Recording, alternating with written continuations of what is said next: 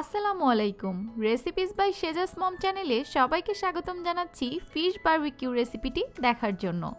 আমার ইউটিউব চ্যানেলে গত বছর শীতে চিকেন বারবিকিউ রেসিপি দেওয়ার পর থেকে সম্ভবত দর্শকদের কাছ থেকে সব থেকে বেশি রিকোয়েস্ট পেয়েছি এই ফিশ বারবিকিউ রেসিপিটি করে দেখানোর জন্য। আমার সকল দর্শকদের অনুরোধে আমার এক্সপেরিমেন্টে তৈরি করে দেখাচ্ছি হোল ফিশ বারবিকিউ রেসিপি আশা করছি রেসিপিটি আপনাদের খুবই কাজে আসবে। হোল ফিশ বার্বিকিউ করার জন্য আজকে আমি এখানে সামুদ্রিক কোয়া কোরাল নিয়েছি প্রায় তিন কেজি ওজনের আর এই আস্ত মাছটাকে আজকে বার্বিকিউ করব। বরাবরের মতো আজকেও মাছটি বাজার থেকে কিনে প্রসেস করা থেকে শুরু করে বার্বিকিউ করার সকল প্রসেসে শেহজার বাবা আমাকে যথেষ্ট সাহায্য করেছে আজকে যেহেতু বেশ বড় সাইজের একটা আস্ত কোরাল মাছ বার্বিকিউ করব, তাই মাছটার উভয় পাশেই একটা ধারালো ছুরি দিয়ে বেশ খানিকটা ডিপ করে এভাবে একটু চিড়ে নিতে হবে, যেন মাছের ভেতরে সকল মশলাগুলো খুব সুন্দর মতো ঢুকতে পারে। আর মাছটাকে আমি এভাবে কাটার আগে থেকেই ধুয়ে প্রসেস করে নিয়েছি।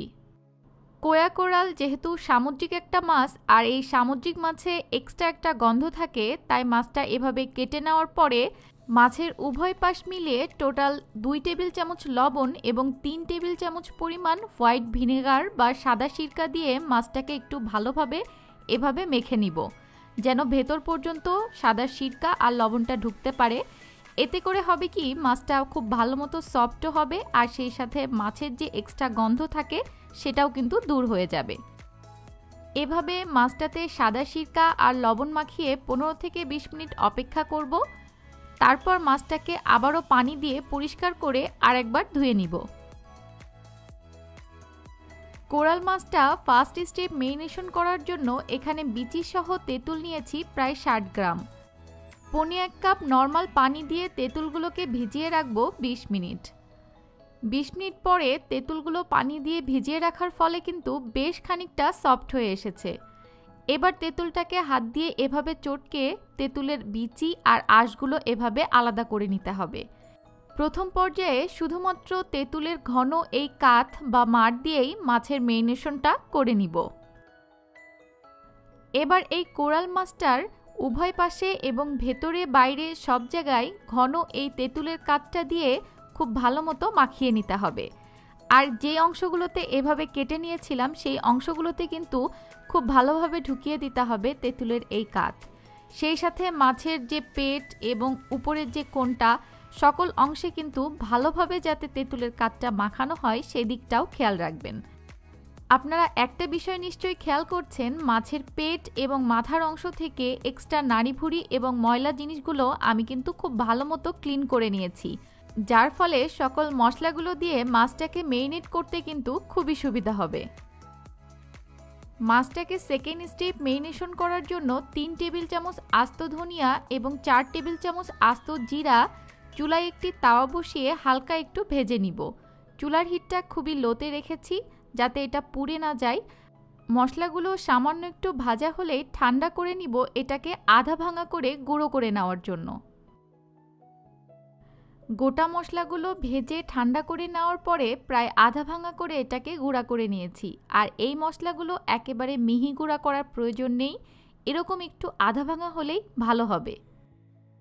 এর সাথে তিন টেবিল চামচ চিলি ফ্লেক্স বা ভাজা শুকনা মরিচ আধা গুঁড়ো করে নিয়েছি।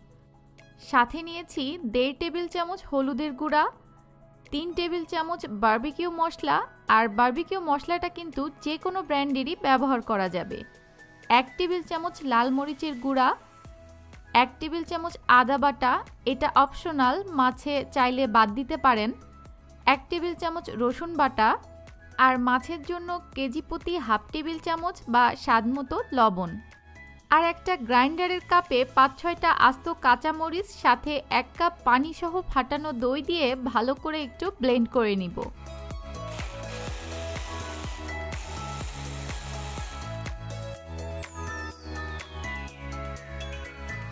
অন্যান্য মশলার সাথে ব্লেন্ড করে নেওয়া এই মিশ্রণটা দিয়ে ভালো মতো মিক্সড করে নিতে হবে। আমি কিন্তু এখানে শুকনো মশলাগুলোকে ভালো মতো মিক্স করার জন্য পানি সহ টক দই ব্যবহার করেছি, তবে এখানে এক্সট্রা করে কোনো পানি ব্যবহার করা কিন্তু যাবে না। এবার এই মশলাটা ভালো মতো মিক্স করে নিয়েই প্রায় দশ মিনিট আগে তেঁতুলের কাঠ দিয়ে মাখিয়ে রাখা কোরাল মাছটাতে এই মেরিনেশনটা শুরু করতে হবে। আচ্ছা তেঁতুলের এই কাঠ দিয়ে মাখিয়ে রাখা মাছটাকে কিন্তু আবার ধুয়ে ফেলা যাবে না। সরাসরি তেঁতুলের কাঠ দিয়ে মাখিয়ে রাখা মাছেই সেকেন্ড স্টেপ মেরিনেশনের মশলাগুলো মাখিয়ে নিতে হবে, সম্পূর্ণ অংশে খুব ভালো মতো করে। মাছের প্রতিটা অংশ, যেই অংশগুলো আমরা চাকু দিয়ে একটু চিড়ে নিয়েছিলাম, সেই অংশগুলোতেও একইভাবে ভালো মতো হাত দিয়ে মশলাগুলো ঢুকিয়ে নিতে হবে। আর মাছটা মেরিনেশনের ক্ষেত্রে আমি প্রায় আধা কাপ সরিষার তেল ব্যবহার করছি।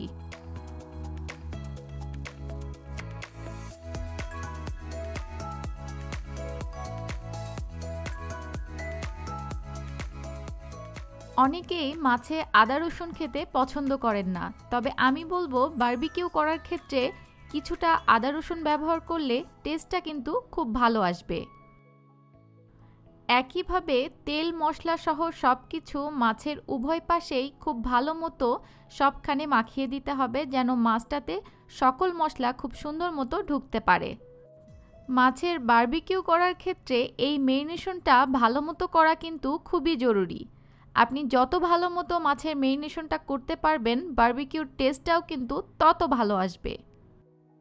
সামুদ্রিক কোরাল ছাড়াও কিন্তু এই একই প্রসেসে অন্যান্য মাছ যেমন ইলিশ, রুই, তেলাপিয়া কিংবা ভেটকি মাছ দিয়েও এই বার্বিকিউটা করা যাবে।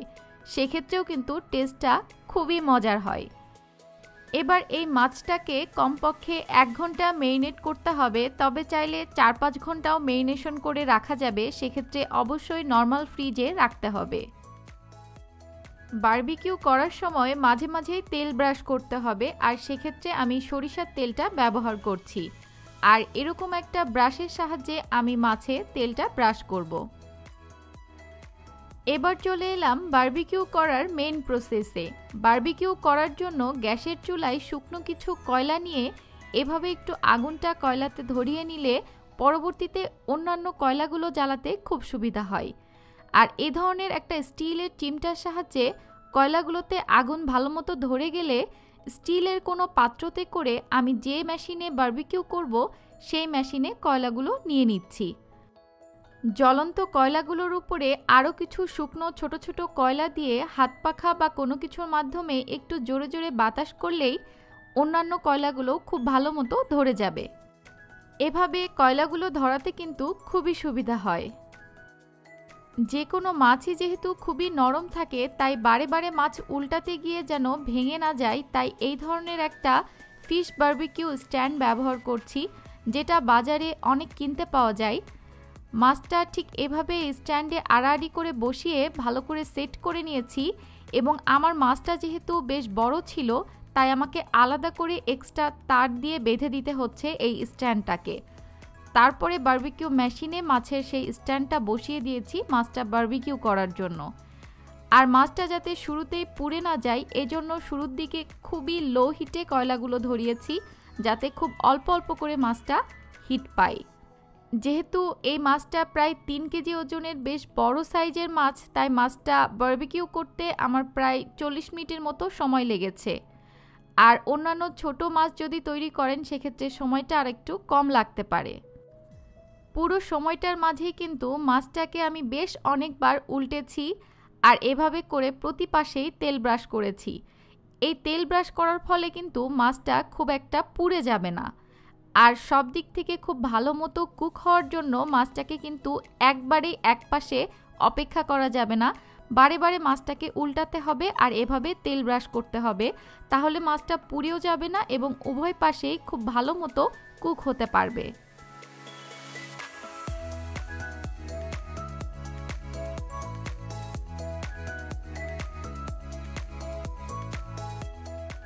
আমি আজকে যে মেশিনটাতে মাছের বার্বিকিউ করছি, এই মেশিনটা বাদেও কিন্তু শুধুমাত্র মাছের জন্য এই ধরনের একটা বার্বিকিউ স্ট্যান্ড কিনে নিয়েই আপনারা মাছটাকে খুব ভালো মতো বার্বিকিউ করতে পারবেন।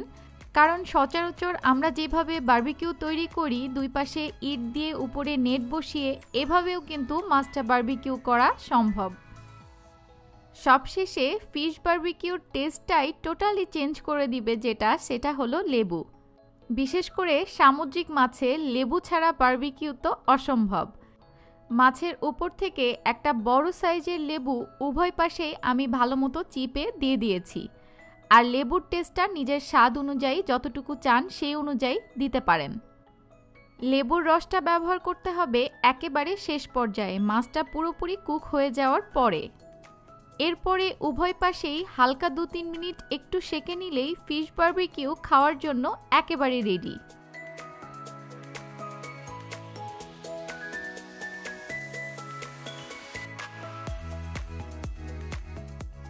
মাছটা কিছুটা বড় থাকার কারণে আমার এক্সট্রা করে তার দিয়ে বেঁধে নেওয়া তারগুলো কেটে নিয়ে গরম গরম ফিশ বার্বিকিউ পরিবেশনে চলে যাব। দেখতেই পাচ্ছেন, মাছটা কিন্তু এই ধরনের একটা ফিশ বার্বিকিউ স্ট্যান্ডের ভেতরে দিয়ে বার্বিকিউ করার ফলে অনেকবার উল্টানো পাল্টানোর পরেই কিন্তু একটুও ভেঙে যায়নি। সবশেষে আমার আজকের রেসিপিতে তৈরি অসম্ভব মজার আর সফট ফিশ বার্বিকিউ রেসিপিটি আপনাদের কাছে কেমন লাগল অবশ্যই আমাকে কমেন্টস করে জানাবেন। ভালো লাগলে একটি লাইক দিবেন, কারণ আপনাদের লাইক এবং কমেন্টস আমাকে অনেক উৎসাহ দেয়। আজকে এখানেই বিদায় নিচ্ছি। ভালো থাকবেন সবাই। আমার জন্য দোয়া করবেন। আল্লাহ হাফেজ।